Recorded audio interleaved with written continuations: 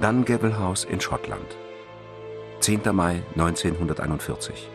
Eine Stunde vor Mitternacht. Vier Männer warten auf ein Flugzeug aus Deutschland. Damit die Maschine sicher aufsetzen kann, ist die Landebahn beleuchtet. Wenig später funkt der Pilot den vereinbarten Code. Zur völligen Verblüffung der Briten gibt er sich als Rudolf Hess, Stellvertreter Adolf Hitlers, zu erkennen. Die Engländer löschen umgehend die Landebefeuerung. Sie haben einen anderen Gesandten aus Deutschland erwartet und nicht mit einem so hochrangigen Politiker wie Rudolf Hess gerechnet. Als der Maschine der Sprit ausgeht, springt Hess mit dem Fallschirm ab. Das Flugzeug zerschellt am Boden. Eine Szene, festgehalten auf einer späteren Kinderzeichnung seines Sohnes Wolf Rüdiger. Aufnahmen der abgestürzten und völlig zerstörten Messerschmitt 110 mit der Kennung VJOQ, der Maschine von Rudolf Hess. Wenig später entdeckt ein Bauer 40 Kilometer nördlich der schottischen Hauptstadt Glasgow den abgesprungenen deutschen Politiker. Der Englandflug. Eines der letzten ungelösten Mysterien des Zweiten Weltkriegs tief umhüllt vom Nebel britischer Geheimhaltung und diversen Täuschungsaktionen, die bis in die Gegenwart hineinwirken.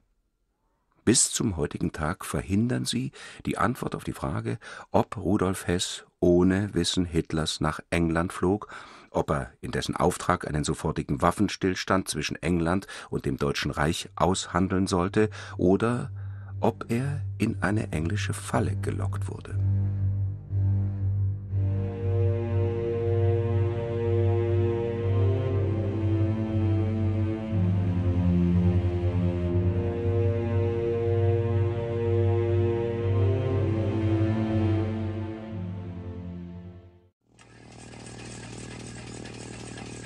Fest steht, kaum jemand war zu einer solchen Geheimaktion besser geeignet als Rudolf Hess, der schon als Kampfpilot im Ersten Weltkrieg fliegerische Erfahrungen sammelte.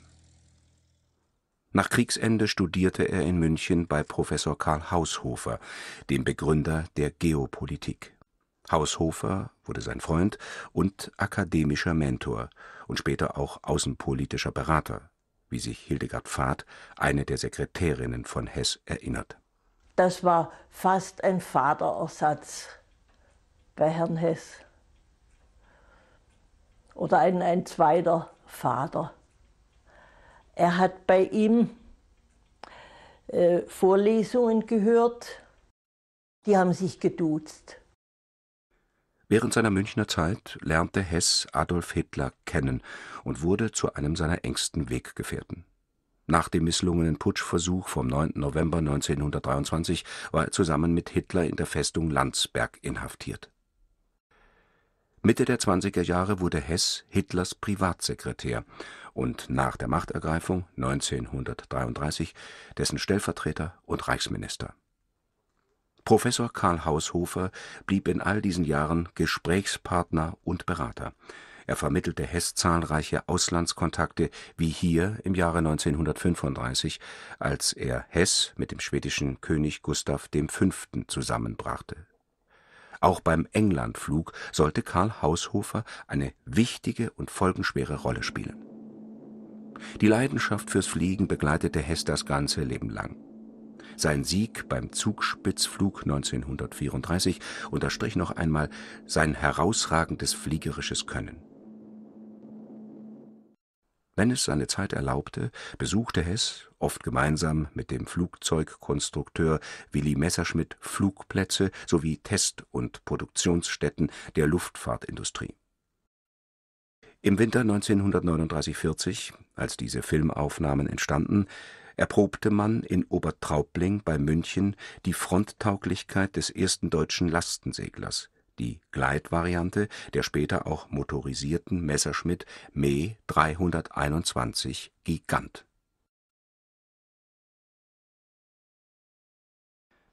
(1940), ein Jahr vor dem geheimnisvollen Englandflug Landeplatz der Messerschmitt-Flugzeugwerke. Eine Ju-52 setzt auf der Graspiste auf. Professor Willy Messerschmitt erwartet Rudolf Hess. Seit Jahren verbindet die beiden Männer ihre Leidenschaft für Flugzeugtechnik und die Fliegerei. Die zivilen und militärischen Messerschmitt-Flugzeuge schätzte der Pilot Hess besonders. Private Filmaufnahmen, die bisher noch nie gezeigt wurden. Die Messerschmitt-Werke in Augsburg zählten zu den größten militärischen Flugzeugbetrieben Deutschlands.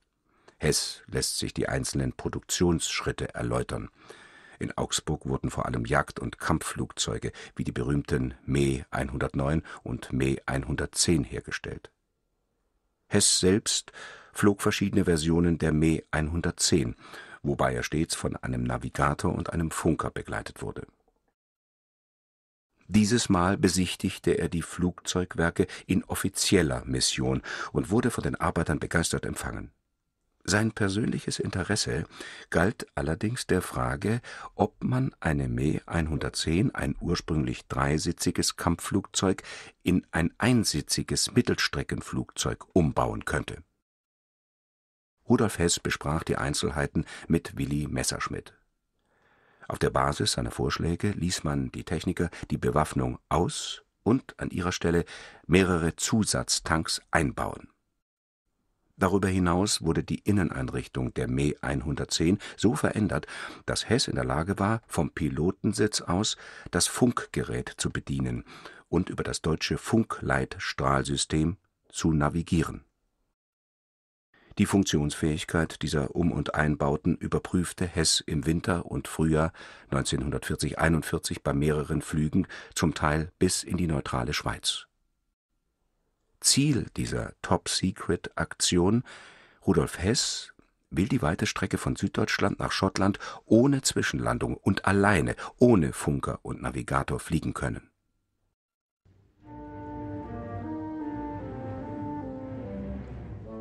Stonehenge im Südwesten Englands. Ein Ort der Mysterien aus heidnischer Vorzeit, über dessen Ursprünge und Hintergründe die Wissenschaftler noch immer rätseln.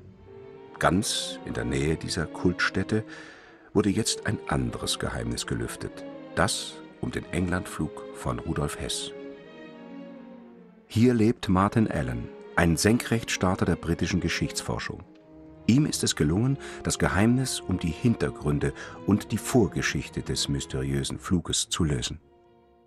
Man muss sich daran erinnern, dass es nach Ausbruch des Zweiten Weltkrieges eine ganze Serie von Friedensinitiativen seitens der deutschen Regierung gegenüber der britischen Regierung gab.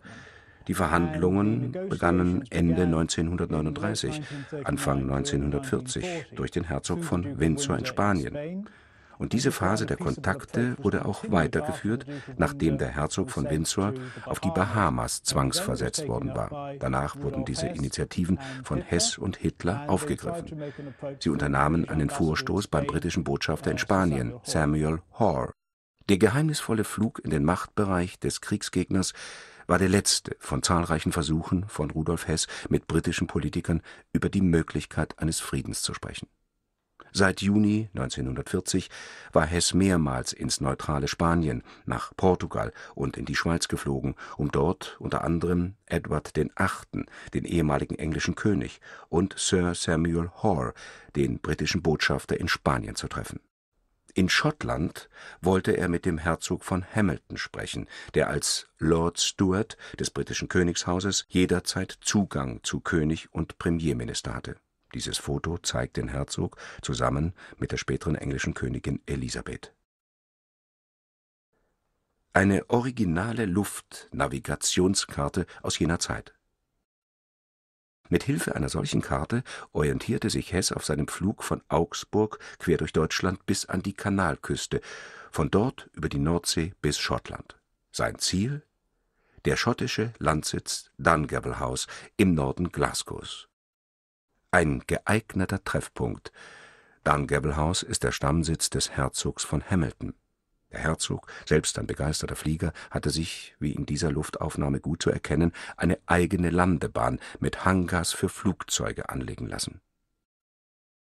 Ortswechsel Der Ammersee in Oberbayern Wohnsitz der Familie Haushofer, der sogenannte Hartschimmelhof.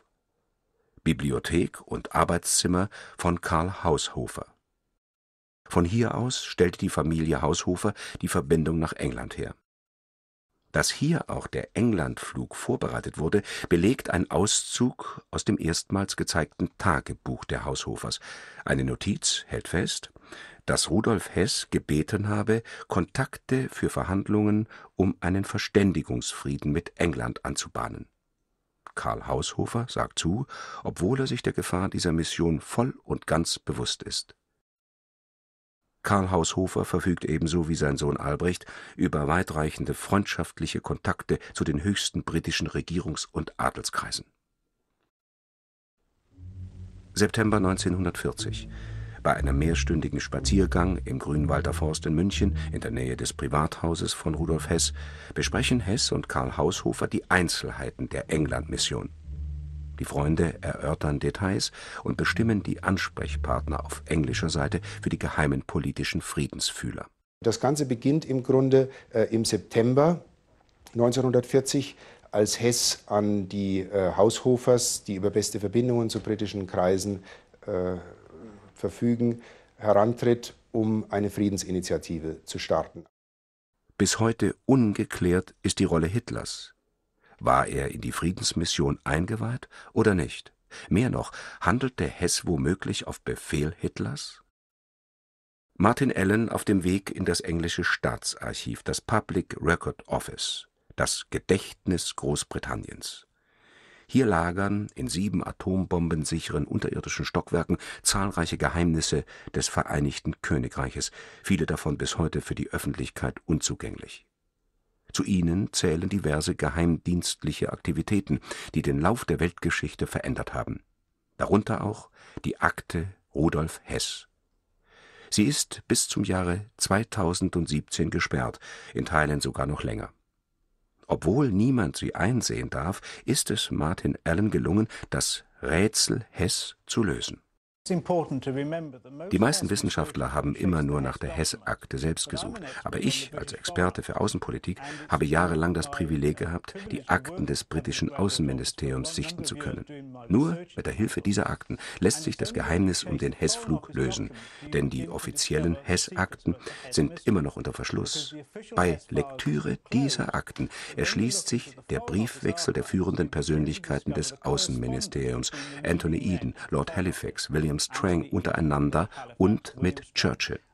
Darin wird die Geschichte der Geheimdienstoperation um Hess enthüllt und daher benötigt man nicht mehr die eigentlichen Hess-Akten, die bis zum Jahre 2017 gesperrt sind. Dokumentiert sind diese gewonnenen Erkenntnisse im neuesten Buch von Martin Allen, The Hitler-Hess Deception, das im britischen Großverlag Harper Collins herauskam und unter dem Titel Churchills Friedensfalle inzwischen auch auf Deutsch erschienen ist. Der Weg nach Ditchley Park in der Grafschaft Oxford. Hier traf sich Churchill seinerzeit jedes Wochenende mit Kabinettskollegen, Freunden und Vertrauten.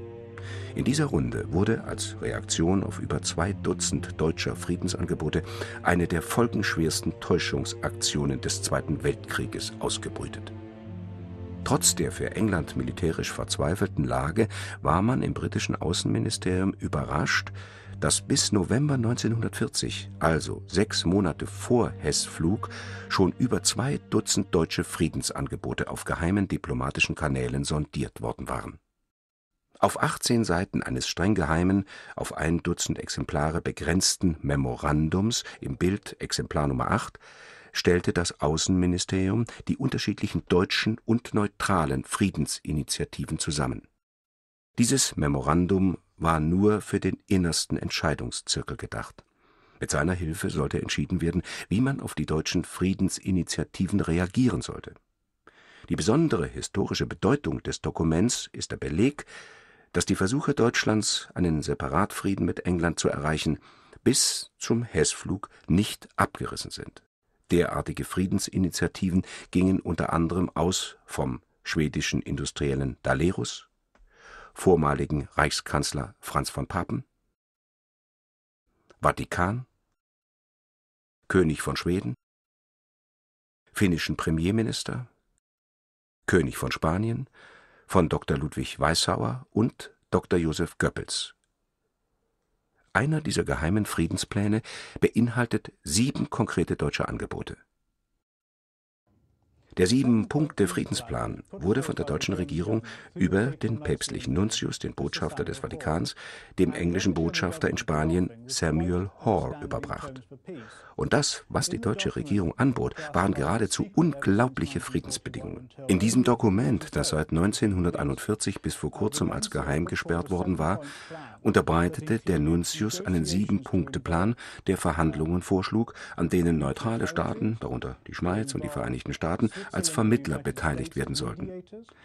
Der erstaunlichste der zahlreichen Punkte war, dass Hitler den Rückzug der deutschen Truppen aus Norwegen, Holland, Dänemark, Belgien und Frankreich und Reparationsleistungen für die während der Kampfhandlungen entstandenen Schäden anbot.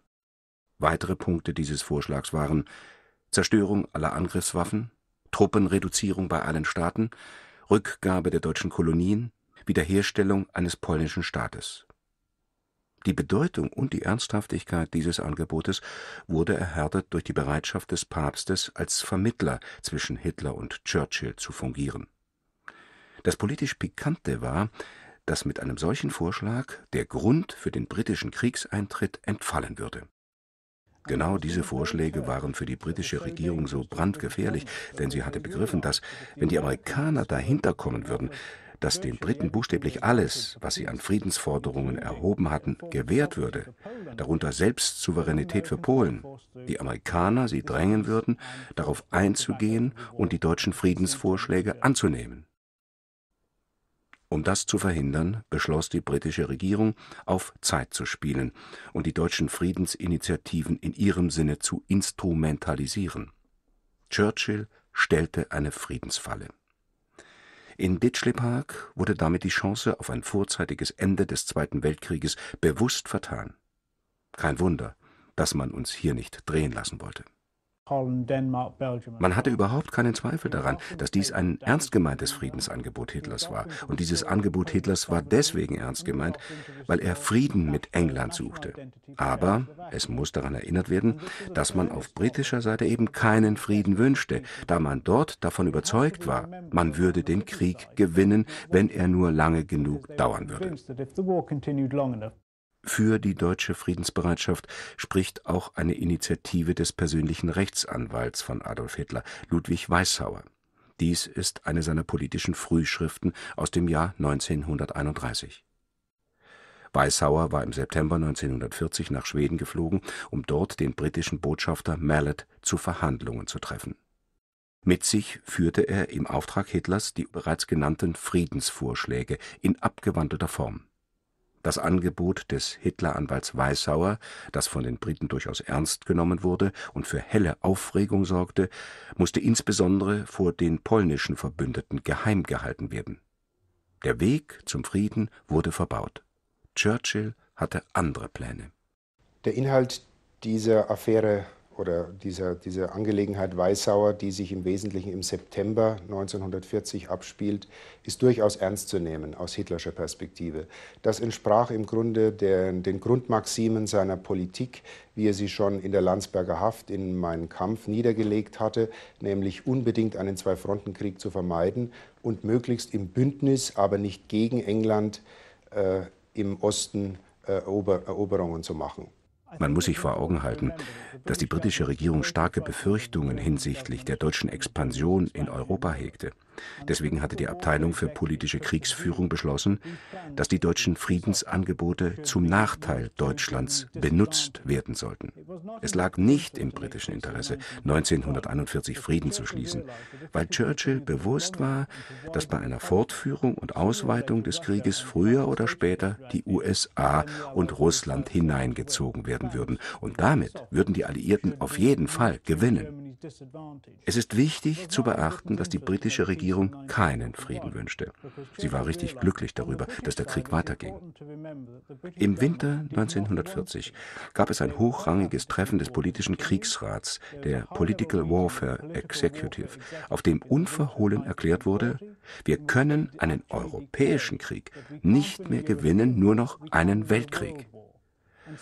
Und so haben sie im Gegensatz zur deutschen Regierung, die bestrebt war, den Krieg zu begrenzen und zu beenden, sehr massiv daran gearbeitet, den Krieg auszuweiten.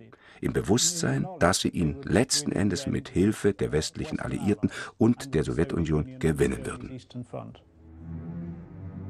Woburn Abbey im Herzen Englands, eingehüllt in typisch englischen Nebel. Heute Sitz des Herzogs von Bedford. Im Zweiten Weltkrieg arbeiteten hier die Mitarbeiter einer besonderen Abteilung des britischen Geheimdienstes, der SO-1, der Special Operation One, einer Spezialeinheit für politische Kriegsführung und Täuschungsmanöver. Die handverlesenen Mitarbeiter der SO-1 haben Churchills Pläne umgesetzt und die Friedensfalle aufgestellt. Scheinverhandlungen. Sollten bei der deutschen Reichsregierung den Eindruck erwecken, in England gäbe es eine große Zahl hochrangiger friedensbereiter Politiker, die, unterstützt vom Königshaus, sogar bereit seien, Churchill zu stürzen und mit Deutschland Frieden zu schließen die Political Warfare Executive bestand aus hochspezialisierten Experten mit dem Ziel, den Gegner irrezuführen, insbesondere seine Regierungsmitglieder. Diese Leute erkannten schnell, dass Hitler niemals glauben würde, dass Churchill um Frieden bäte und seine Meinung über die Weiterführung des Krieges ändere.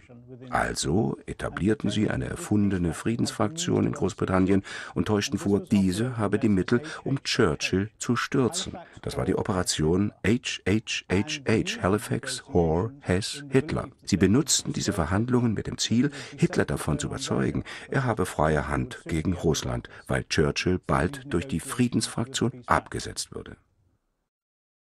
Woburn Abbey war vor 60 Jahren aber auch Schauplatz einer heftigen Auseinandersetzung um die richtige Strategie und Haltung gegenüber Deutschland. Dies ist Hugh Dalton, Minister für Wirtschaftskriegsführung und Chef der Geheimdienste im Kabinett Churchill. Er war ein scharfer Kritiker der Politik der Kriegsausweitung des britischen Premierministers, eine Haltung, die ihn sein Amt kostete. Er formulierte seine Skrupel in einem Schreiben an den britischen Außenminister Eden im Februar 1941. Was allerdings Winston jetzt vorschlägt, ist ein wirklich erschreckender Plan, und ich bin mir nicht sicher, ob es mein Gewissen erlaubt, daran teilzunehmen.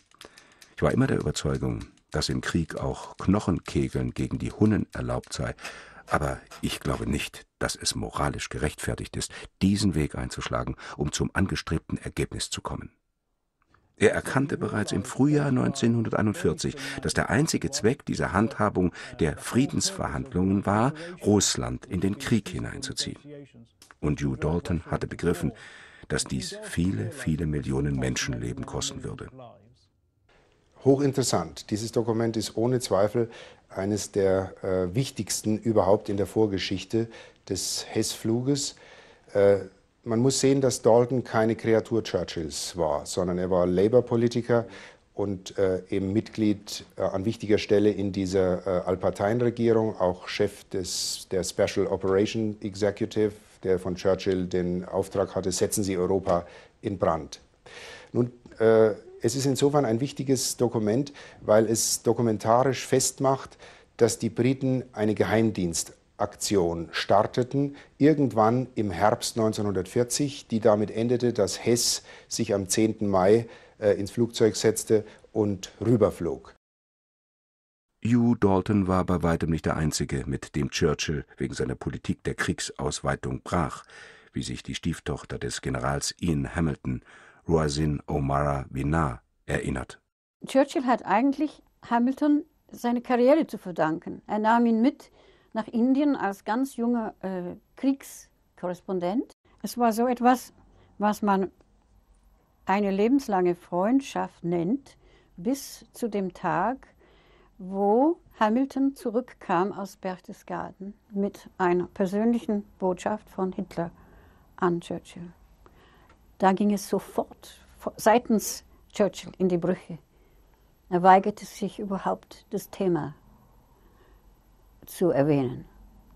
Er hat mir persönlich an dem Tag nichts erzählt, aber meine Adoptivmutter hat zu mir gesagt, erwähne nicht den Namen Churchills, denn das Gespräch zwischen Hitler und meinem Mann, hat sie gesagt, ist ein, eine Katastrophe geworden. Hitler hat ihn dringend gebeten, seinen Einfluss auf Churchill auszuüben. Woher er wusste, dass die befreundet waren, weiß ich nicht, sagte sie mir. Aber so wie er nach Hause kam, hat er sich mit Churchill in Verbindung gesetzt und da gab es ein Tete zwischen den beiden Männern und einen Riesenkrach. Niemand weiß, was genau passiert ist, aber von dem Tag an ist aus mit den zwei. Nicht nur zu Hitler, auch zu Hess unterhielt Ian Hamilton gute Beziehungen. Das mag ein weiterer Grund dafür gewesen sein, warum Hess nach Schottland fliegen wollte. Ja, er hat auch damals gesagt, der, dieser, dieser Hess, das ist ein ganz reizender Mensch. Also mit dem bin ich sehr gut, äh, sehr, sehr gut ins Gespräch gekommen. Und ich habe ihn mit seiner Familie eingeladen zu uns aufs Schloss nach Schottland nächsten Sommer. Und ich sagte, bravo, schön. Und er hat gesagt, ja, und du kannst mir mal helfen mit dem Brief. Und jetzt bitte, ich kann mich nicht erinnern, was er da in der Hand hatte. Ist es sein Brief an Hess oder ist es Hess? Der Brief zurück an ihm, aber es ging um die Einladung.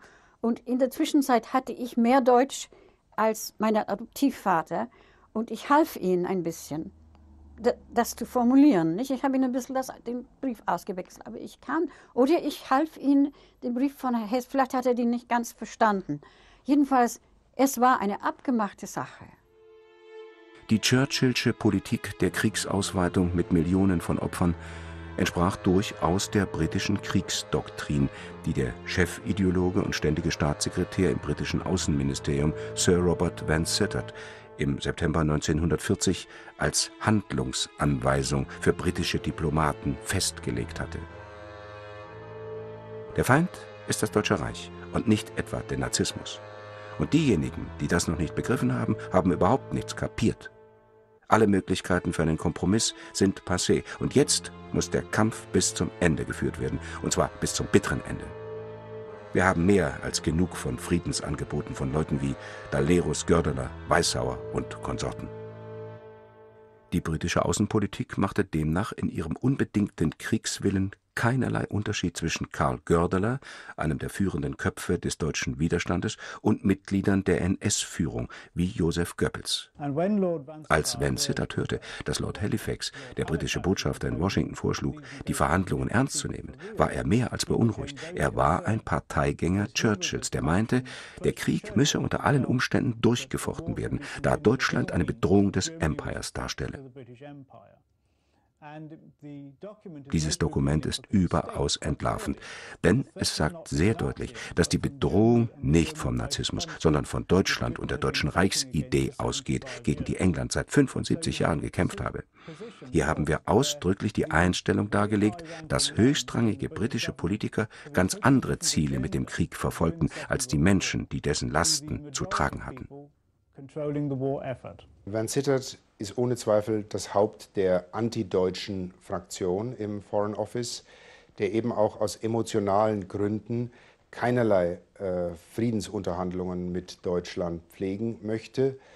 Äh, er hat aus eigener Kenntnis fast alle führenden deutschen Widerständler vor dem Krieg empfangen und hat sich mit ihren Programmen vertraut gemacht.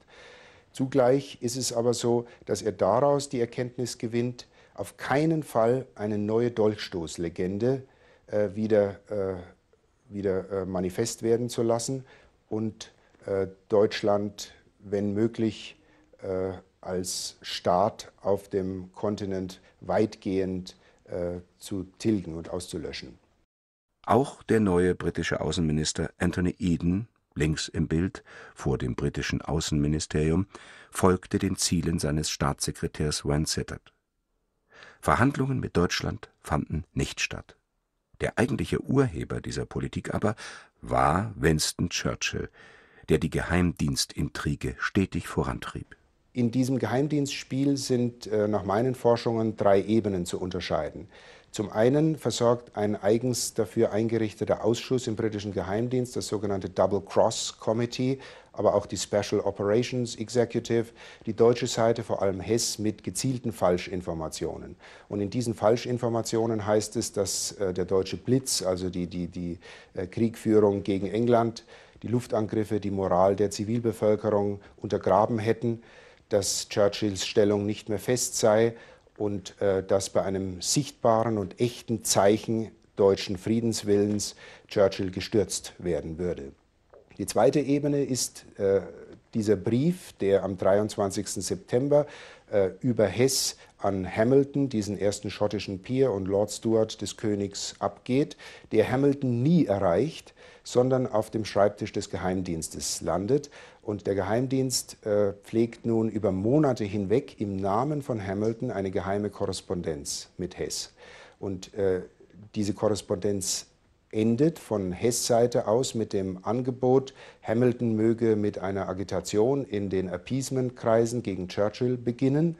Im richtigen Moment, so heißt es wörtlich, wird dann eine hochrangige deutsche Persönlichkeit erscheinen, um die Friedensbedingungen zu sondieren. Und die dritte Ebene äh, sind Horoskope, die sich Hess hat anfertigen lassen im Vorfeld seines Fluges die allesamt den 10. Mai als Tag welthistorischer Bedeutung ausweisen. Der Ort, wo der Frieden zu schließen ist, liegt in Schottland. Inwieweit der britische Geheimdienst hier auch die Hess nahestehenden okkultistischen Kreise infiltrierte und Hess mit getürkten, äh, mit getürkten Horoskopen versorgte, ist wahrscheinlich, lässt sich aber dokumentarisch nicht beweisen. Ein Foto von Rudolf Hess mit seiner Sekretärin Hildegard Fahrt. Sie erinnert sich an die Vorbereitungen zum Englandflug. Über diesen Flug habe ich äh, gar nichts gewusst. Ich habe lauter Einzelteile. Man hat hinterher gemerkt, wie, wie schlau er das verteilt hat. Also ich habe gewusst, einerseits, dass er Entwürfe geschrieben hat, wo er mit irgendeinem Engländer verhandeln wollte. Und ich habe mir vorgestellt, er trifft den irgendwie im, im neutralen Ausland. 10. Mai 1941. Es ist soweit. Rudolf Hess ist unterwegs von Deutschland nach Schottland.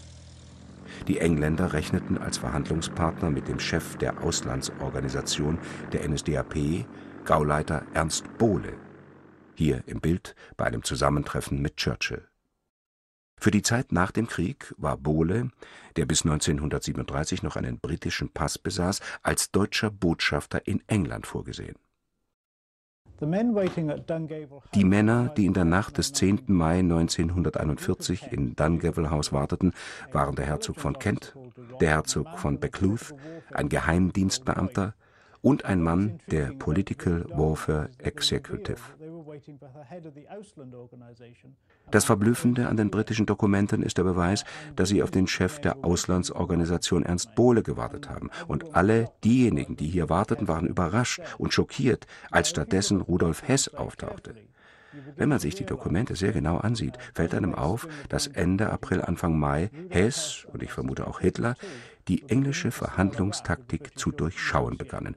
Und so beschlossen sie gemeinsam, Hess anstelle von Bode zu entsenden, um sich bei den Briten Gewissheit zu verschaffen. Man wollte den britischen Verhandlungspartnern tief in die Augen schauen. Während Hess nach Schottland fliegt, warteten in England drei Gruppen auf den deutschen Emissär.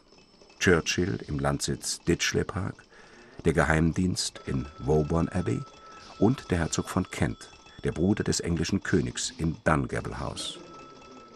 Entsetzt darüber, dass mit Hess ein Entscheidungsträger eintreffen würde, der die Strategie der Verzögerung zu Fall bringen könnte, löschten die Engländer die Landebefeuerung. Die Maschine von Hess zerschellte am Boden. Doch Hess überlebte. Das Verwirrspiel ging in die nächste Runde. Offiziell wird seitens der Engländer verlautbart, der schottische Bauernknecht David MacLean habe den abgesprungenen und verletzten Hess aufgegriffen. In britischen Wochenschauaufnahmen berichtet MacLean sogar von der Gefangennahme von Rudolf Hess. Doch das ist nicht die ganze Wahrheit. Daniel McBride, damals Sergeant der Fernmeldetruppe, offenbarte zwei Jahre nach Kriegsende die wirkliche Geschichte. Er war es, der Hess fand und ihn in das Haus McLeans brachte. Doch darüber durfte er damals nicht reden. Ich behaupte, dass hochrangige Regierungsmitglieder sein Kommen erwartet hatten. In jener Nacht wurde weder Luftalarm gegeben, noch wurde das Flugzeug vom Radarkontrollraum erfasst. Die schriftliche Bestätigung von Captain Percival, dem britischen Offizier, der als erster Hess befragte und dem dieser sein Portemonnaie und die Seenoterkennungsflagge, die er bei sich trug, überließ. Beide Gegenstände aus dem Besitz von Rudolf Hess werden hier zum ersten Mal gezeigt. Kaum war das Unternehmen fehlgeschlagen, gerieten sowohl die Briten als auch die Deutschen in Panik, wie sie ihrer jeweiligen Öffentlichkeit den Fall Hess erklären sollten. Die deutsche Presse distanzierte sich von Rudolf Hess, kam aber der Wahrheit sehr nahe, als sie schon am 14. Mai, also nur wenige Tage nach dem Hessflug, berichtete, es wäre auch denkbar, dass Hess am Ende von englischer Seite bewusst in eine Falle gelockt wurde es besteht kein Zweifel daran, dass Hitler von Hess Flug informiert war. Denn beide hatten deswegen eine beträchtliche Zeit mit den Briten verhandelt und sich noch kurz zuvor getroffen. Als Hess nach England geflogen war, die ganze Sache schief ging und Hess von den britischen Behörden festgenommen wurde, nahm man an, dass diese Behörden nichts von der Existenz einer Friedenspartei wussten. Hitler war entschlossen, um jeden Preis herauszufinden, was mit Hess passiert war und ob es möglich sei, zu befreien. Martin Allen fand schließlich auch heraus, welch abenteuerliches Unternehmen Hitler, der Hess offiziell für verrückt erklärte, zur Befreiung seines Stellvertreters in die Wege leitete. Ein weiteres Indiz dafür, dass der Flug mit seinem Wissen geschah. Woburn Abbey, im Zweiten Weltkrieg Sitz der besonderen Abteilung des britischen Geheimdienstes. Im Herbst 2003 fanden Gärtner im weitläufigen Park, der sich rund um das Gebäude erstreckt, durch Zufall mehrere hundert Leichen, sämtlich vor 60 Jahren erschossen. Eine Entdeckung, die für helle Aufregung sorgte und zugleich jede Drehgenehmigung innerhalb des Schlosses unmöglich machte. Öffentliche Hinweise auf die Identität der Opfer sind bis heute allerdings nicht bekannt geworden. Mittwoch, 28. Mai 1941. Die Motoren von Kampfbombern stören die Stille des Parks. Wenig später fallen Bomben. Die deutsche Luftwaffe fliegt einen Scheinangriff, dessen Ziel es ist, von den drei deutschen Agenten abzulenken, die an Fallschirmen abspringen und an einer Straßenbiegung kurz vor Woburn Abbey landen. Die drei Männer wissen, dass der britische Außenminister Anthony Eden zwei Tage später genau auf dieser Strecke nach Woburn Abbey fahren wird, um an den dort stattfindenden Wochenendberatungen teilzunehmen. Ihr Auftrag lautet, Anthony Eden zu kidnappen und gegen Rudolf Hess auszutauschen die Dokumente belegen eindeutig, dass diese Männer Eden kidnappen und ihn als Geisel nehmen sollten, um von ihm zu erfahren, ob diese Friedensfraktion wirklich bereit sei, gegen Churchill vorzugehen oder ob es sich um eine Finte handle. Das Gelände rund um Woburn Abbey ist jedoch gut einzusehen. Das britische Militär hat zudem alle Bauern auf der Insel aufgefordert, verdächtige Personen sofort zu melden. Die drei deutschen Agenten werden entdeckt und gefangen genommen. Die geplante Entführung Edens wird vereitelt. Der Tower von London. Das berühmt-berüchtigte Gefängnis der englischen Könige, in dem schon im Mittelalter oppositionelle und politische Gefangene hingerichtet wurden. Da die drei deutschen Agenten nicht bereit waren, sich umdrehen zu lassen und für die britische Seite zu arbeiten, wurden sie auf Veranlassung des Geheimdienstes ohne jedes weitere Verfahren im Tower erschossen. Heute weiß man, dass das Angebot zum Frieden, mit dem Hess nach England geflogen war, von Anfang an zum Scheitern verurteilt war. Hess selbst verbrachte die letzten vier Jahrzehnte seines Lebens im Gefängnis. Die britischen Akten zum Fall Hess sind immer noch auf Jahrzehnte gesperrt. Diese zum Beispiel bis 2019. Hess, auf diesem Foto noch mit den Fliegerstiefeln, die er während des Englandfluges trug, wurde während der Nürnberger Kriegsverbrecherprozesse monatelang verhört. Sein Flug durfte dabei allerdings auf Befehl der Briten nicht erwähnt werden Ein weitgehend unbeachtetes Dokument aus dem Nürnberger Verfahren belegt, dass Hess am 9. Juni 1941, also nur wenige Wochen nach seiner gescheiterten Mission vom 10. Mai, mit dem britischen Lordkanzler Simon ausführlich über einen Vier-Punkte-Friedensplan Hitlers und die Grundlagen für einen Verständigungsfrieden diskutierte. Hess hielt Lord Simon für einen Vertreter der Friedenspartei und trug ihm deshalb die Friedensvorstellungen Hitlers offen vor. Was Hess nicht wissen konnte, das Gespräch war ebenso wie die Entlassung von Van Zittert nur ein Täuschungsmanöver. Einzig dem Ziel verpflichtet, die Deutschen glauben zu machen, dass die antideutsche Fraktion in der englischen Regierung schwächer würde Der Hartschimmelhof am Ammersee bei München, Stammsitz der Familie Haushofer. Hier wohnten Professor Karl und Martha Haushofer mit ihrem Sohn Albrecht. Sie waren in alle Überlegungen von Rudolf Hess eingeweiht, kannten genau Inhalte und Hintergründe seines mysteriösen Englandfluges. Wichtige Zeugen, die den Engländern im Verlaufe des Nürnberger Prozesses unter Umständen gefährlich werden könnten Besonders brisant, die Haushofers besaßen Durchschriften sämtlicher Briefe von Hess an seine englischen Gesprächspartner. Kein Wunder, dass am 10. März 1946, kurz bevor Karl Haushofer als Zeuge in Nürnberg aussagen sollte, der britische Geheimdienst am Hartschimmelhof erschien, mitten in der amerikanischen Besatzungszone. Nach diesem Besuch waren Karl Haushofer und seine Frau Martha tot. Dies ist der Ort, an dem die Leichen des Ehepaars mitten im Wald und in erheblicher Entfernung zum eigenen Anwesen gefunden wurden. Die beiden britischen Geheimdienstler waren die letzten, die das Ehepaar Haushofer lebend sahen. Ein Gedenkstein erinnert noch heute an den grausigen Fund, den der zweite Sohn Heinz Haushofer am 12. März 1946 machen musste die letzte Ruhestätte des Ehepaars Haushofer auf ihrem oberbayerischen Anwesen. Karl und Martha Haushofer liegen hier neben ihrem in deutscher Haft wenige Tage vor Kriegsende erschossenen Sohn Albrecht. Im Hartschimmelhof selbst fand sich dieser Abschiedsbrief von Karl Haushofer, der auf einen Selbstmord hinweist. Doch er gibt Rätsel auf. Der einseitige Brief ist viermal unterbrochen und jeweils mit anderer Tinte und Feder fortgeführt worden. Außerdem fehlt eine Datierung. Noch merkwürdiger ist eine Skizze, die wohl wegen der großen Entfernung vom Haus und der abgelegenen, fast versteckten Stelle mitten im Wald angefertigt wurde und die dem überlebenden Sohn Heinz den Weg zu den Leichen seiner Eltern weisen sollte. Diese Skizze soll von Martha Haushofer angefertigt worden sein. Die Schrift auf der Karte weist allerdings keinerlei Ähnlichkeit mit der Handschrift Martha Haushofers auf, wie der Vergleich mit ihrem Tagebuch belegt. Die Buchstaben zeigen vielmehr eine frappante Ähnlichkeit mit der Typografie von Angloamerikanern. Die Zeichnung selbst ist ausgesprochen laienhaft. Angesichts der zeichnerischen Qualität der Bebilderung des Tagebuchs der Haushofers, die Frau Haushofer oblag, ist es nur schwer vorstellbar, dass diese Zeichnung von gleicher Hand erstellt wurde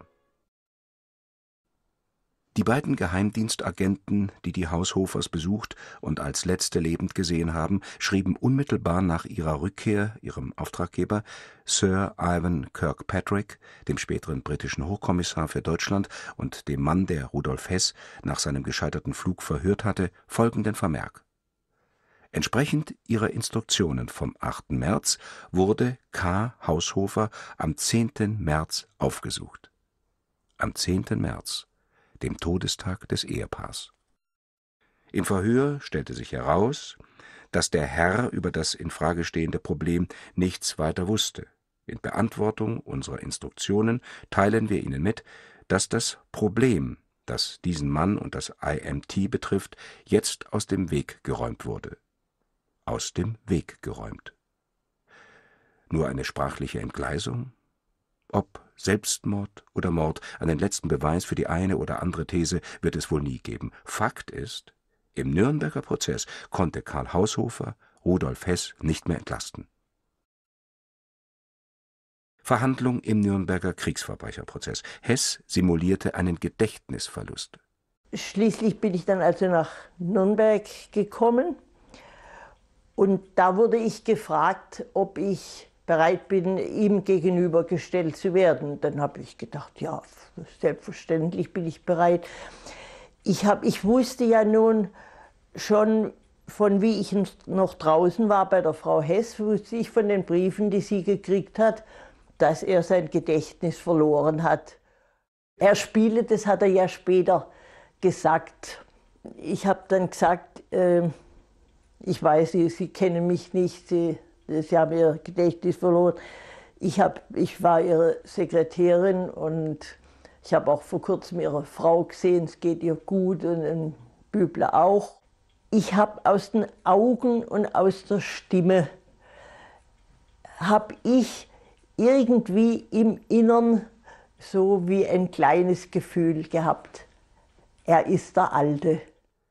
Inge Ordemann, eine weitere Sekretärin von Hess, erinnert sich an die Phase des Gedächtnisverlustes. Dann wurde er weggebracht und stand er auf und klopfte mich auf die Schulter und sagte, haben Sie keine Angst, ich bekomme mein Gedächtnis wieder. Und da wusste ich sofort, da hat es simuliert nur, nicht? Um vorzubeugen, dass ich für verhandlungsunfähig erklärt werde,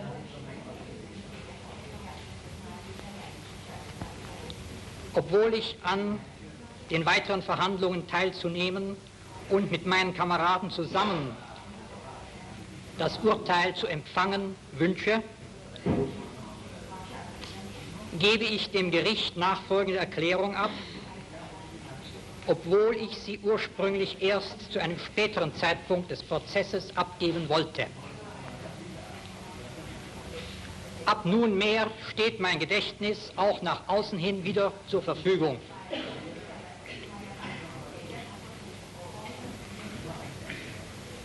Die Gründe für das Vortäuschen von Gedächtnisverlust sind taktischer Art. Als Hess in der Feste Berlin-Spandau seine lebenslange Haftstrafe antrat, waren alle Spuren beseitigt und die Mitwisser seines Englandfluges nicht mehr am Leben. Rudolf Hess, der Gefangene Nummer 7. Der letzte deutsche Mitwisser der wahren Hintergründe seines Fluges saß vier Jahrzehnte, davon 20 Jahre in Einzelhaft, im Gefängnis in Spandau. Verbotene Filmaufnahmen zeigen ihn im Inneren des Gefängnisses. Das Fenster zum Gefängnishof. Der Gefangene Nummer 7 in seiner Gefängniszelle vor einer großen Karte mit den Gestirnen.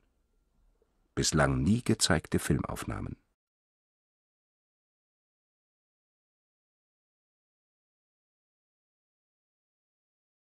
Trotz aller Verbote gelang es, die um Hess gezogene Mauer des Schweigens zu durchbrechen. Der amerikanische Gefängnisdirektor in Spandau, Eugene Bird, gewann das Vertrauen von Hess. Ein nicht ganz ungefährliches Unterfangen. Eugene Bird wurde zu Hess ständigem Gesprächspartner. Rudolf Hess übergab Bird ein bislang unbekanntes Handschreiben, datiert vom 20. September 1971, in dem er die Hintergründe seines Englandfluges zusammenfasste. Darin bestätigt Hess, dass es sein Ziel war, durch einen Frieden mit England eine schnellstmögliche Beendigung des Krieges zu erreichen. Gegen Ende seines Lebens schenkte Hess einem zweiten Fremden sein Vertrauen, seinem tunesischen Krankenpfleger Abdullah Melawi unsere Verhältnisse zwischen Patient und äh. Oder, also, äh, da hat sich sehr gut Kontakt, weil ich glaube, die Welt, die wissen das nicht so viel, weil Rudolf Hess spricht Arabisch. Und, und der erste Mal sage, sage ich auch so solche Sachen. Äh, quasi Deutsch und dann, wenn wir, das ist irgendwo, das ist auch ein bisschen privat unterhalten. Ich versuche so inten, inten, intensiv mit ihm Kontakt zu haben. Rede ich mit ihm Arabisch und er kann sehr gut ägyptische Arabisch. Und das ist, was mich sehr so erfreut. Das Verhältnis zwischen Malerie und Hess war, kann man sagen, wie ein Vater-Sohn-Verhältnis. Man muss mal vorstellen, äh, Hess war sehr alt, und sehr einsam. So freut er sich auf jeden Besuch von Malerie. Malerie war da, kann man sagen, Tag und Nacht. Wenn Hess einen Bauchweh hat oder äh, irgendwas. Er hat Malerie gerufen. Malerie wohnte 50 äh, Meter entfernt vom Gefängnis und war da innerhalb von fünf Minuten. Die Feste Spandau. Das Ritual der monatlichen Wachablösung. Diesmal gehen die Franzosen und die russische Wachmannschaft übernimmt das Kommando. Zu diesem Zeitpunkt gingen alle davon aus, dass der inzwischen 93-jährige Hess das Geheimnis um die Hintergründe seines Englandfluges mit in sein Grab nehmen würde. Alle humanitären Bemühungen um seine Freilassung waren ergebnislos verlaufen. Bemühungen, die die Engländer, wohl wissend, dass die Russen angesichts des Kalten Krieges einer vorzeitigen Freilassung von Hess niemals zustimmen würden, nach außen hin unterstützten. Und ich habe jahrelang für Hess seine Freiheit plädiert. Und mein Grund war folgendes. Ich habe meine Leute, meine Regierung gesagt, lass dieser alte Mann nach Hause gehen und sterben in aller Ruhe und nicht als Märtyrer im Gefängnis für die, für die Extremisten. Während meiner Zeit, was achteinhalb Jahre war als Kommandant, habe ich äh, nach Anordnung von meiner Regierung zweimal im Jahr, alle sechs Monate, Briefe schreiben lassen. Ein Brief von Frankreich, von äh, England und Amerika, identisch an Moskau geschickt, um für Hess seine Freiheit zu bekommen. Die Russen haben immer Nein gesagt. Hess war der einzige und letzte Gefangene, der seit 1966 in diesem großen Backsteinbau von Spandau saß, als Schirach und äh, Speer, die beide 20 Jahre Haft äh, bekamen, in Nürnberg entlassen worden sind. Äh, von britischer Seite aus lässt sich dokumentarisch festmachen, dass man Ende der 50er Jahre, und zwar war das die Regierung Macmillan, bei der äh, Bundesregierung unter Adenauer eine Initiative startete, die letzten Gefangenen aus Spandau äh, herauszuholen und den Sowjets diesen Vorschlag zu machen. Dies, das Ganze scheitert an Adenauer, der nicht bereit ist, äh, diese Initiative zu unterstützen. Von da an hatten die Briten wohl keinen Versuch mehr unternommen, gegen das sowjetische Veto eine Freilassung von Hess zu erwirken. Die Engländer waren immer Feuer und Flamme dafür. Aber warum? Die wussten, die Russen Nein sagen.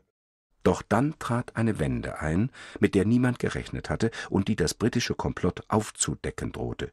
Vollkommen unerwartet kündigte der damalige sowjetische Staatschef Gorbatschow an, den greisen Rudolf Hess aus humanitären Gründen bei der nächsten routinemäßigen Wachübernahme durch die Russen freilassen zu wollen. Ein Vorhaben, das Radio Moskau auf Anfragen offiziell bestätigte. Bei den Briten brach Panik aus. Wie reagierte Rudolf Hess auf diese Nachricht? Oder wurde sie ihm gar verheimlicht? Ich erzähle von dem Plan, das ist so die Sowjet, Sowjetunion, das ist ihm freizulassen. Er hat sich gefreut, er hat sich gefreut, als er zu Hause sterben will und, und einmal das, dieses Bergen zu sehen, das sagt er mir. Und äh, äh, freut er sich, aber durch, ich denke mir, so durch die lange Gefangenschaft und so, das zeigt nicht, wie, wie wir, das ist ein Zivilrecht draußen und so, hurra, super und ich habe geschafft, sondern er sagt, das ist gut. Doch an einem freien Rudolf Hess außerhalb der Gefängnismauern von Spandau war man offenkundig nicht interessiert.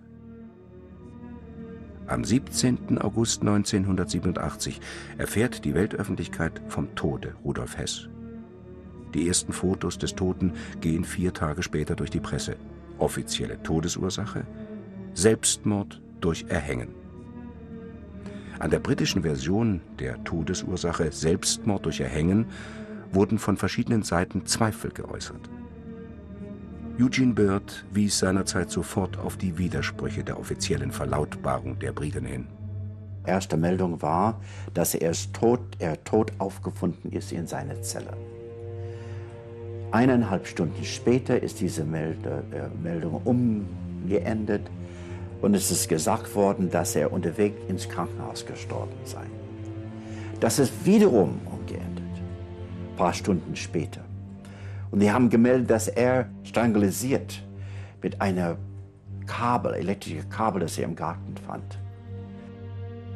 Und der letzte war, der hat sich aufgehängt von einer, mit einer Verlängerungskabel in seine kleine Gartenhaus hinter dem Gefängnis. Ich war sofort skeptisch und ich dachte zuerst, dass die Russen ihn umgebracht haben. Bis ich später gelernt habe, dass an dem Tag Hess starb, gab es kein Russe im Gefängnis. Der russische Direktor war in Urlaub und kein Wächter, russischer Wächter, hat Dienst an dem Tag, 17. August 87. Überlegungen, dass bestimmte Kreise ein Interesse daran haben könnten, auch ihn aus dem Wege zu räumen, beschäftigten Hess übrigens schon kurz nach seiner Festnahme. 1942 bat er den Schweizer Gesandten in London, im Falle seines Todes meine Leiche durch eine internationale Ärztekommission hinsichtlich der Todesursache untersuchen zu lassen. Ja, der Tag lief folgendes am 17. August 87. Hess ist aufgestanden, 7 Uhr, und Frühstück ist serviert worden, immer in, war es in seiner Zelle serviert. Im Zellenblock gab es einen Sanitätsraum für Erste Helfer etc., Notoperation. Kleinigkeiten. Und in diesem Sanitätsraum gab es eine Erste-Helfer-Kit und eine Sauerstoffflasche und eine Maske. Und das war Malerie, Malerie seine Aufgabe, jeden Tag diese beiden Dinge zu untersuchen. Erste Helfer-Kit war versiegelt und geplumpt. Er untersuchte alles, inklusive dieser Gas, äh, dieser Flasche, Sauerstoffflasche, alles in Ordnung. Und dann es gab ein, ein Blatt, äh, vorhandenes äh, Blatt, wo er unterschrieben hat. Das hat er unterschrieben, alles in Ordnung mit diesen beiden Dingen, 11.05 Uhr. Und wenn ich das Diplom, das ist nicht in Ordnung, muss ich alles melden. Muss ich die vier Direktoren melden. Muss ich Protokoll schreiben. Äh, und muss ich sehr, sehr, sehr viel arbeiten. Deshalb, das ist lieber, dass ich kontrolliere zweimal das war alles in Ordnung. 15 Uhr nachmittags am 17. August war Malerie in der Esssaal bei der Küche außerhalb des Gefängnisses. Und er bekam einen Anruf von der Chefwäsche, der Franzose Adawan. Und Adawan sagte folgendes, komm sofort ins Gefängnis, ich befürchte, was Furchtbares ist, ist mit Hess passiert. Ja, bin ich gerannt. Bis dann Haupttour des von alliierten Gefängnisses. Ich habe geklingelt. Der Herr Müller macht nicht auf. Klingelte und der äh, englische Wächter hat ihm angeschaut und Folgendes gesagt. Gehen Sie nach Hause, ist es alles vorbei. Was ist alles vorbei? Anruf, ich muss kommen. Verzögerung vor die Haupttour, ich habe gebeten trotzdem, Herr Müller, mir die Zellenblock, er die Schlüssel hat, die Zellenblock aufzumachen, auf, aufzuschließen, hat er ignoriert. Es kam äh, wirklich zu einer Festung äh, dort zwischen dieser Hauptmann und Malerie. Und endlich hat der Hauptmann ihm, der amerikanische Hauptmann ihm rein gehen lassen ins Garten. Malerie rannte ja eine Distanz von circa 400 Meter auf ein Fahrt um den Gefängnis rum und kam in dieses kleine Gartenhaus, wo Hess äh, war zu dieser Zeit. Ein Weg, das normalerweise unter fünf Minuten gedauert hat, um in dieses Gartenhaus zu kommen, es, es hat ihm fast 40 Minuten gedauert, bis er dort ankam. Völlig unerwartet von den Leuten in diesem Gartenhaus. Jordan, der amerikanische Wächter, war mit Hess. Als Malerie ankam, er sah Folgendes. Der Herr Jordan stand da verschwitzt, chaotischer Zustand, Schweißausbrüche. Rechts der Nummer 7, Rudolf Hess, lag auf dem Rücken in die Mitte und zwei, zwei uniformierte Soldaten, Uniform, eingetragene Soldaten, so eine amerikanische Uniform, eine große, so dunkle und eine kleine. Erstens habe ich nie gesehen. Zweitens, ich habe schon sehr empört, weil das ist mein Patient lag da, lieblos. Erstens die Frage an Herrn Jordan, ich das als Kind und als Wächter, amerikanischer Wächter, was ist denn los? Was ist da los, Herr Jordan? Er antwortet mir ganz klar mit Brünneln, das Schwein ist umgebracht, können Sie nach Hause. Diese beiden Männer hat Mallory nie vorher gesehen oder nachher. Es war auch eine absolute Verletzung die Regeln im Spandau Gefängnis, dass diese zwei Leute da waren. Da standen wie die Mörder, so, so, so gelassene, also nicht Schauspieler, sondern so richtig äh, professionelle Killer. Die standen da, die schauten mich ganz äh, empörend, also die schauten mich, was suchst du denn hier? Wie kommst du hier rein? Malerie schaute ihn mit Entsetzen an ging es sofort runter auf Rudolf Hess und versuchte, ihn zum Leben zurückzubringen durch Mund-zu-Mund-Resuszitation. Hol mir den Erste-Helfer-Kit im Sanitätsraum. Obwohl Jordan ein Walkie-Talkie, ein Telefon mittrug, er ist selbst hingegangen und hat diese Erste-Helfer-Kit und diese Sauerstoffflasche mit Maske zurückgebracht. Diese Kit ist aufgerissen worden und alles, was in dem ersten Hilfe-Kit war, also vernichtet und zerstreut. Es gab auch kein Sauerstoff in dieser Flasche. Das, obwohl Abdul das untersucht hat, 11 Uhr 5, 5 Minuten nach 11, am gleichen Vormittag und alles in Ordnung fand. Ich habe das geprüft morgens. Das war alles in Ordnung, das Sauerstoff, wie auch das ist Notfallkoffer. Das kann ich beantworten. Ob jetzt zwischengetauscht, die haben das Schlüssel, die können tauschen, die, aber tauschen oder nicht getauscht, die waren beide defekt. Zum Zeitpunkt seines Todes war Rudolf Hess ein 93-jähriger alter Greis. Viele Leute denken an Hess als junger, dynamischer, sportlicher Mensch. Und das war er. Aber in dem Jahr Hess starb, er war 93 Jahre alt. Hess war ein alter Greis. Er war so gesundheitlich, so angeschlagen. Er könnte zum Beispiel von einer Bank, einer Bank nicht alleine aufstehen. Er könnte seine eigene Schuhbinde nicht zuschnurren. Wenn er lief im Garten, er lief mit einem Stock und zog sein rechtes Bein hinterher. Es müsste zwei Leute mit ihm mitlaufen, eins links und eins rechts, falls er hinfällt. Er war blind im rechten Auge und könnt, er hat nur ein Drittel seiner Sehkraft in dem linken Auge. Er litt so unter Arthritis, dass er seine Finger und Daumen nicht auseinander bekommen könnte. Die haben buchstäblich ein Löffel in seine Hand hineintun müssen, um dass er essen könnte. Und meiner Meinung nach, was meistens gravierend ist, er könnte nicht einmal seine Ärmel bis zur Schulterhöhe heben. Ja, um sich zu strangulisieren. Man muss mindestens so machen können. Und aufzuhängen muss man so machen können, oder? Irgendjemand muss es sagen. Hess ist ermordet worden. Wenn Hess sich ermorden will und kann, er hat A, seine Zelt, wo er schläft, 25 Meter Kabel für die eine Plattenspiele. Zweitens seine Lampe, das ist 3,50 Meter circa, befestigt dort. Drittens, wo der Bad, wo ich die Wäsche aufhängt, seine Wäsche ist, hat er 5 Meter.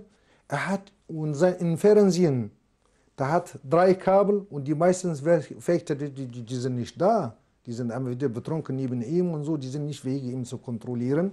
Innerhalb der Zellenblock, außerhalb der Zellenblock, die kontrollieren mehr. Wenn er wollte sich umbringen, dann hat er schon links getan im Gefängnis, innerhalb, in den Zellenblock, nicht außerhalb. Ich sage es und ich sage ganze Welt es, er ist ermordet. Auch die Familie, vor allem sein Sohn Wolf Rüdiger, äußerte erhebliche Zweifel an der Richtigkeit der vier verschiedenen offiziellen Selbstmordvarianten. Sie beauftragte den unabhängigen Pathologen Professor Wolfgang Spann, einen der renommiertesten deutschen Gerichtsmediziner, mit einer Nachsektion, einer erneuten Obduktion. Es war eines Nachmittags gegen fünf, da saß ich hier im Casino bei meinen Mitarbeitern und die Zeit trinkt man gerne eine Tasse Tee. Und da kommt der Anruf, hier ist Rechtsanwalt Seidel, kennen Sie mich? Selbstverständlich, Herr Rechtsanwalt, wir kennen uns doch vor Gericht. Sie müssen mir helfen. Sagt er, sag ich, wieso? Selbstverständlich helfe ich Ihnen. Ich habe eine Leiche hier, können Sie die unterbringen? Sag ich, wer ist es? Sagt er, der ehemalige Reichsminister Rudolf Hess. Sag ich, selbstverständlich. Warum pressiert so, habe ich gesagt. Sagt er, eben erhalte ich im Hotel hier einen Brief des Oberbürgermeisters der Stadt Fürth, in dem ich aufgefordert werde, die Leiche, die wir hier am Friedhof deponiert haben, so rasch als möglich wegzubringen. Ich habe zunächst einmal mein Erstaunen über dieses Vorgehen zum Ausdruck gebracht, habe gesagt, bringen Sie mir die Leiche und dann fragt er mich, brauchen Sie die Genehmigung des Bürgermeisters? Sag, ich brauche überhaupt keine Genehmigung, Hausherr bin ich. Bringen Sie die Leiche, ich werde den Herrn Oberstaatsanwalt selbstverständlich verständigen, dass er informiert ist, was los ist. Und dann sagt er, ich beauftrage Sie im Namen der Angehörigen, die Sektion durchzuführen. Wann können Sie das tun? Dann habe ich gesagt, morgen früh um 9 Uhr wann können wir die Leiche bringen? Die ganze Nacht. Der Nacht ist es informiert.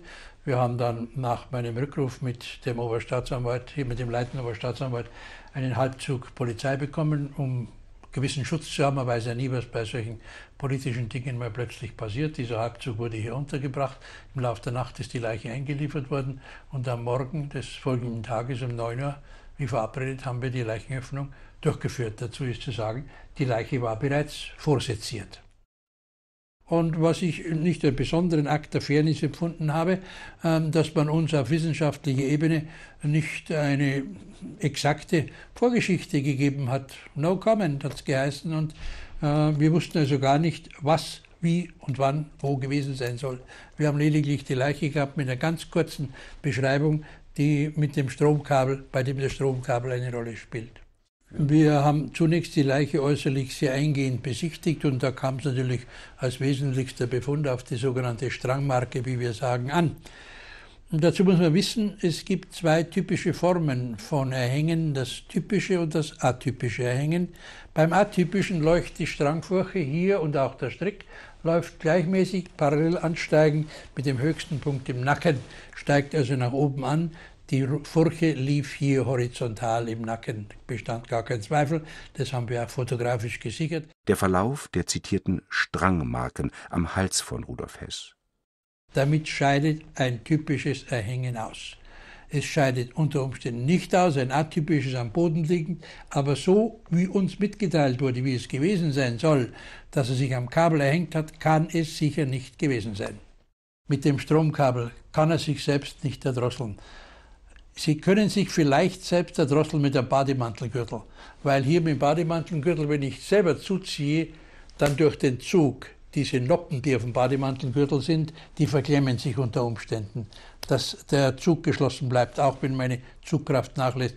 Ein äh, Elektrokabel wird immer rutschen, wird immer aufgehen. Mit dem können Sie sich nicht selbst erdrosseln. Unmittelbar nach dem Tod von Rudolf Hess fand eine gründliche Spurenbeseitigung statt. Nur 24 Stunden später wurde das Gartenhaus, der Fundort der Leiche, abgetragen. Eine Woche danach rissen Bagger die historische Festung Spandau Stein für Stein ein und machten sie dem Erdboden gleich. Der Schutt wurde abtransportiert und an einem unbekannten Ort vergraben. Bilder vom Abriss der Feste, gedreht unter schwierigsten Verhältnissen. Das Filmen während der Abrissarbeiten, die von bewaffneten Posten überwacht wurden, war seitens der Briten strengstens verboten. Peter Padfield, der renommierte britische Historiker und Hess-Biograf zum Fall Hess. Ich denke, dass das Urteil und das Schicksal von Hess äußerst ungerecht waren. Denn ganz offensichtlich hatten weit mehr Leute, sowohl auf alliierter als auch auf deutscher Seite, größere Schuld auf sich geladen. Ihn sein Leben lang dafür einzusperren, ist schlichtweg unerklärlich. Und es kann nur durch die Tatsache erklärt werden, dass irgendetwas vertuscht werden musste. Ich weiß nur nicht, was vertuscht werden sollte. Das ist eine ungeheure menschliche Tragödie, die sich da vollzieht. Jenseits aller großen politischen Spekulationen und Geheimdienstintrigen ist das eine menschliche Tragödie, die auch einen Forscher wirklich anrührt und äh, die fast unbegreifbar ist in unserer modernen Zivilisation. War es Churchills Friedensfalle, mit der die Chance auf ein vorzeitiges Ende des Zweiten Weltkrieges bewusst vertan wurde? Martin Allen hat mit seinen sensationellen Aktenfunden das vielleicht letzte große Mysterium des Zweiten Weltkrieges, den Englandflug von Rudolf Hess am 10. Mai 1941 gelöst. Wenn es tatsächlich stimmt, dass der britische Geheimdienst Hess nach England lockte, um die deutschen Friedensbemühungen zu torpedieren und den Krieg auszuweiten, wird auch verständlich, warum die eigentlichen Hess-Akten noch immer der Öffentlichkeit vorenthalten werden. Fragen, die ihre endgültige Antwort erst dann erfahren, wenn die britischen Akten im Jahre 2017, rund 80 Jahre nach den Ereignissen, der Forschung zur Verfügung gestellt werden.